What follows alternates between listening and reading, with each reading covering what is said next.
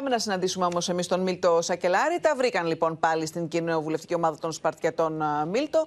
Όλα όμως είναι παρόλα αυτά ρευστά.